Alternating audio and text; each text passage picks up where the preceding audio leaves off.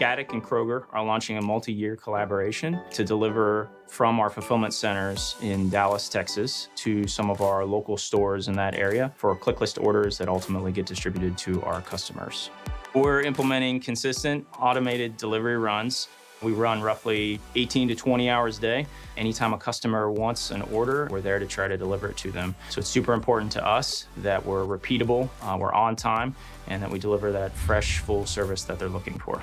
What's always been important to customers is that they get what they need on time. What we've seen through this evolution is important as it is to be on time, it's also really important to have good customer service. So through this collaboration with Gatik, we're able to be quicker in our deliveries and focus more on the customer service side of things, which ultimately leads to a happier customer and repeat customers.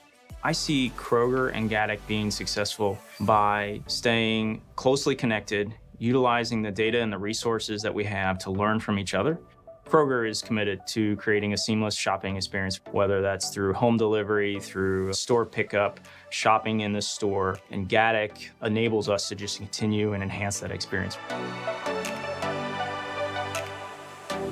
Gatik's autonomous box trucks will help us deliver on that commitment to the customer.